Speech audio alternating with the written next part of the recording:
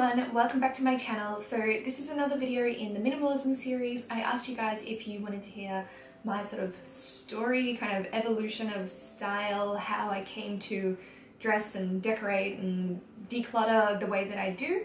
Uh, so that's why I'm making this video. I'm not sure what on earth my hair is doing today, so we're just gonna have to live with this.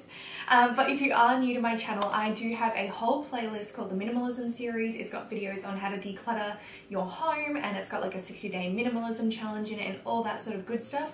Uh, don't forget to hit subscribe if you are new here as well. And to everyone who's been watching this series for a while now, hello and welcome back. This video is pretty informal, I'm just going to sit and talk, but um, I've decided just to break it up a little bit. I've gone back through the history of my Instagram, mainly because I don't have the raw photos anymore. I've just had to steal them off my own Instagram and I'll just be popping them on the side here.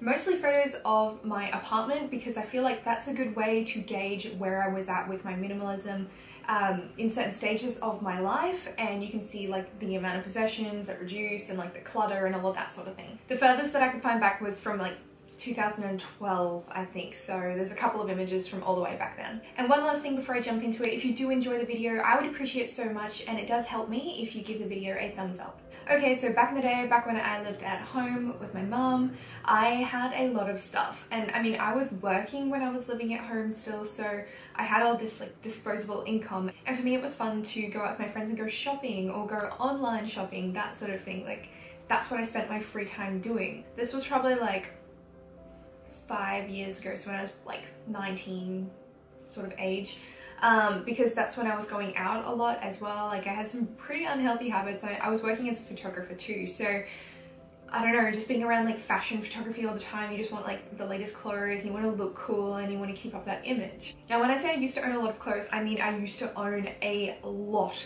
of clothes. Most of them were black though.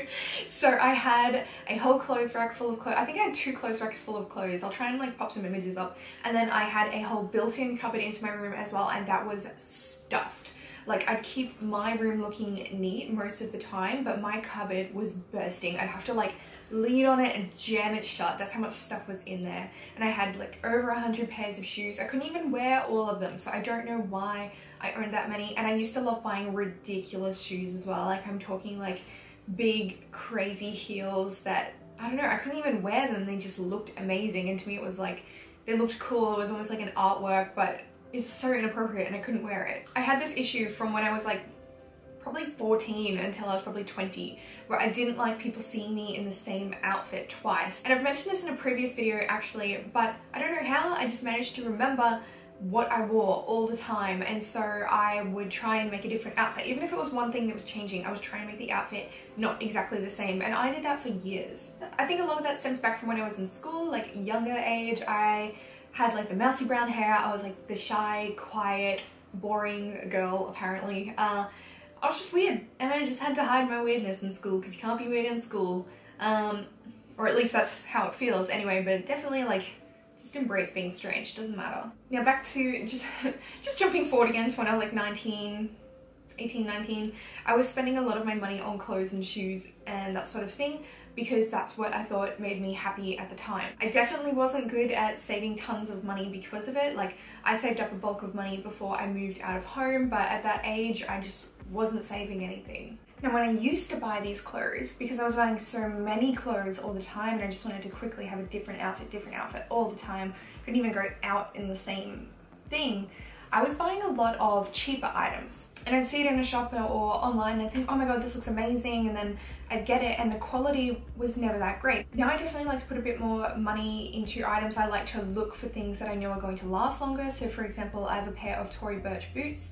I bought them over a year ago and they don't even look like I've worn them and I wear them at least twice a week. Whereas when I was buying clothes and shoes back then, they just start to fall apart and you try and like fix things up because I've always been handy with that sort of stuff and just try and fix things up a little bit and it's just never the same. Like the fabric and the quality is just not there for you to be able to hold on to it for a long time.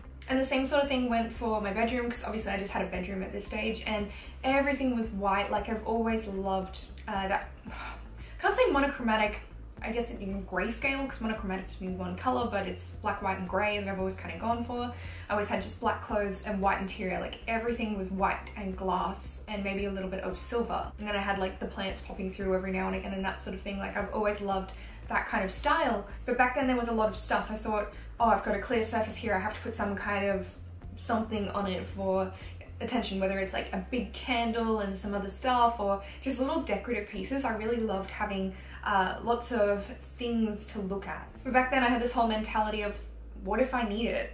Or I can't get rid of this because what if I want to wear it later and I don't know. Then I decided to move out with a friend and I moved into a two bedroom apartment. She obviously had one room and I had the other room, but the apartment had next to no storage. Like the lounge room was really, really small and then there was our bedrooms and then just like a kitchen and a bathroom and it was tiny but it was in an awesome location. Because there was no storage, I had to buy a clothes rack and I had to have all of my clothes on the clothes rack. And so what I used to do for the clothes that I wasn't wearing in that season, I did a major cull before I moved there by the way. Like I got rid of so many of my decorative items. I got rid of so many clothes. And I figured one of the reasons I was buying so many clothes was to make variation in my outfit. So what I did is I got rid of a lot of the stuff that didn't fit anymore.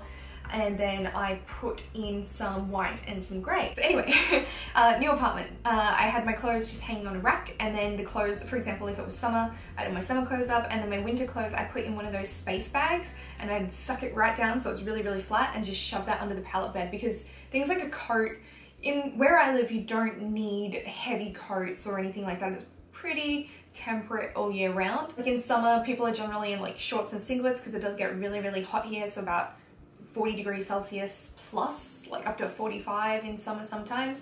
Um, in winter though, like our winter is about 20 degrees Celsius, so it's not really that bad. So it's mostly for ease of moving that I started culling a lot of those things and I kept the stuff that I liked the look of and that made me feel happy to look at. So I didn't have too much because I was just taking up one bedroom and then it was my furniture in the lounge room as well, like a dining table, a couch, that sort of thing. Didn't own TVs or anything like that as I was in that new place, I had a more steady income job because I wasn't doing the photography so much anymore. So I had like a normal job.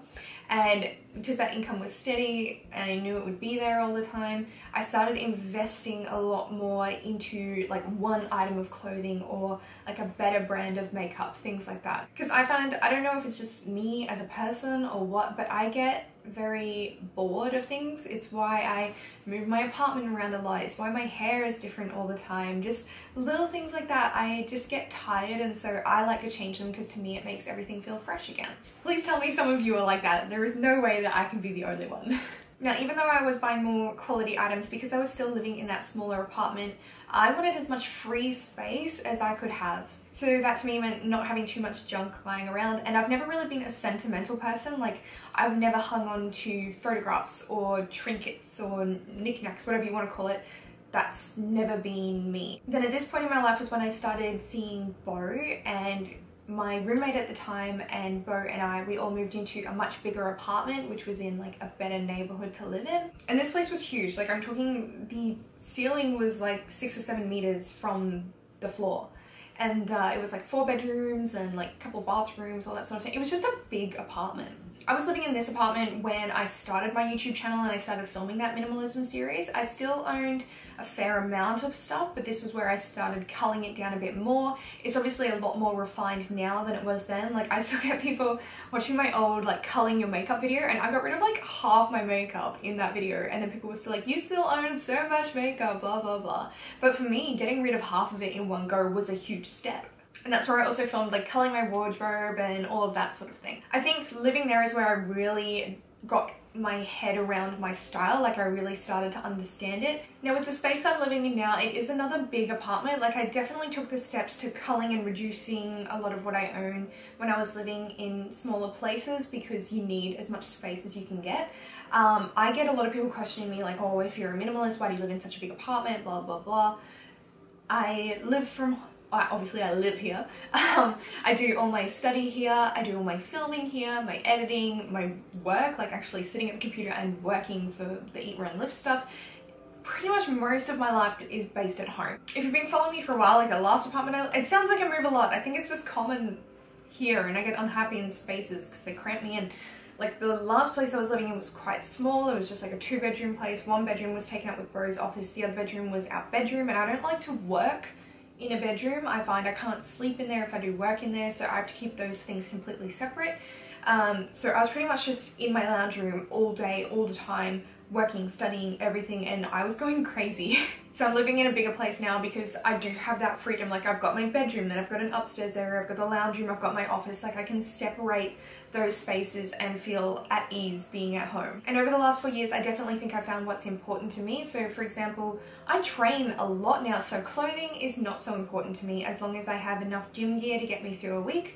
And then I have maybe like one or two casual outfits I don't really need more than that. I find myself wearing the same thing all the time and then just like a couple of outfits to wear to events because I do get invited to a lot of those sort of things so I need to make sure that I have nice clothes for that. So as long as I have those basic outfits I'm set. If you'd like me to do, I don't think I've done a proper wardrobe tour before with like try-ons and that sort of stuff so if you'd like me to do a wardrobe tour, give the video a thumbs up, leave me a comment, something like that, just let me know. And one thing that is obviously crucial to me working and doing what I love is I guess like technology and camera stuff so I've got to have like my computer.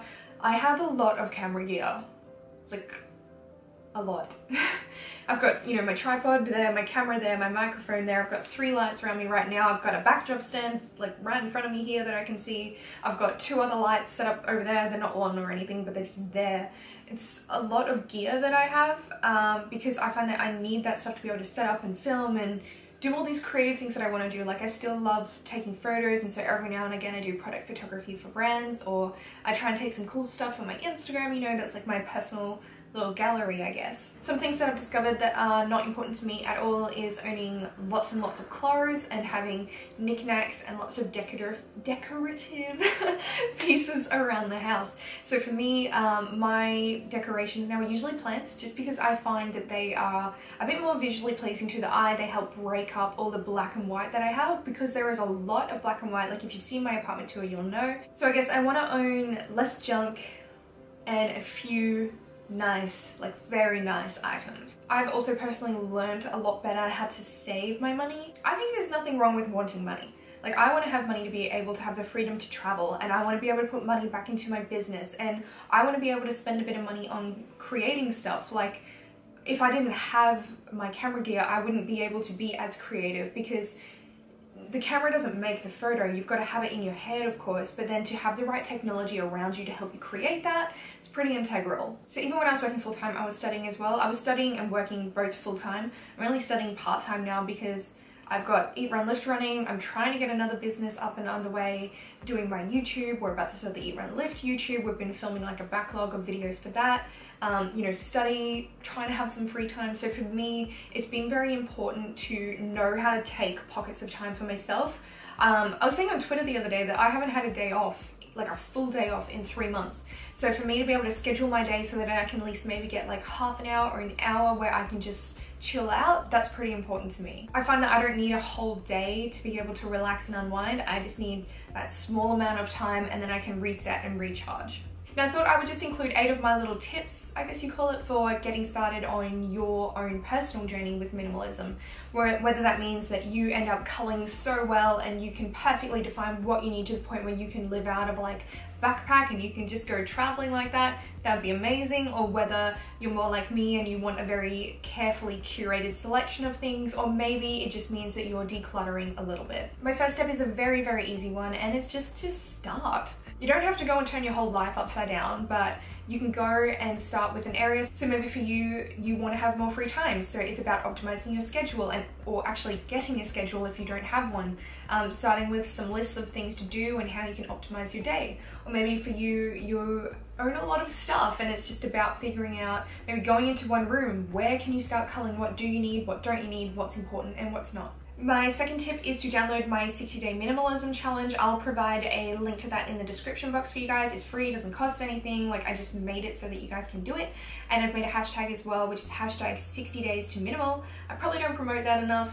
But anyway, there's a few posts on that tag and you can reach me through that tag on Instagram and Twitter as well. Um, if I see it, I will come and check out your posts. My third tip is to assess what's important in your life. So for me, that personal journey involved me going, well, I really want to create I really don't care if I'm wearing the same thing all the time now. I just want to be able to have that freedom to make things because that's what really, really makes me happy. My fourth tip is to actually learn to compromise because if you're living with someone else, this is a really, really important step. They might not be interested in this at all. They still might want to own a lot of stuff. It's not for everybody. Five is to set standards for your purchases. Uh, for me personally, like for example, clothing items, I want to make sure they're good enough quality that they will last a long time. Um, I also try to look after things a little bit better as well. And unless it's something like a cleaning supply or something like that where you can't be too fussy, I normally have a few gatekeepers of bringing things into my home. So do they match like the color theme that I have? Do they match my style? And is it actually necessary? My sixth tip is to have a maybe pile or I don't know, sometimes I call it like a purgatory zone.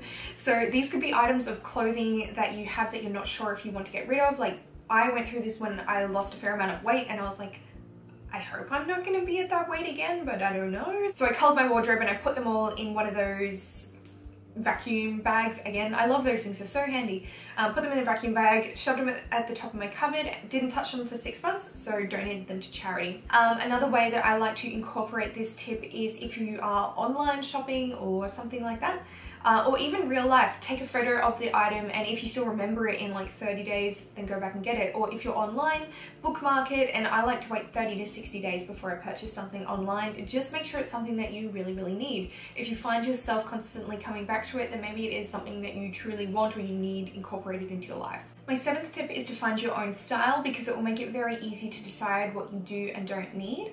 And my eighth piece of advice is that you are enough. You don't need to buy things to feel whole. It doesn't matter if you have a huge wardrobe, tons of shoes, like the newest makeup, all that kind of thing. At the end of the day, if you're still a rude person or an unhappy person, you're still gonna be that person. I know that purchasing a lot of stuff can make it seem like you're filling a void, but that's temporary. So I think it's important to spend a lot of time with yourself and figure out who you are as a person. What do you really enjoy? What makes you happy? And how can you spend more time doing what you love. If you have more videos you want to see as part of the minimalism series, don't forget to leave me a comment below. And if you are new, hit subscribe and I'll catch all of you guys in my next video. Bye!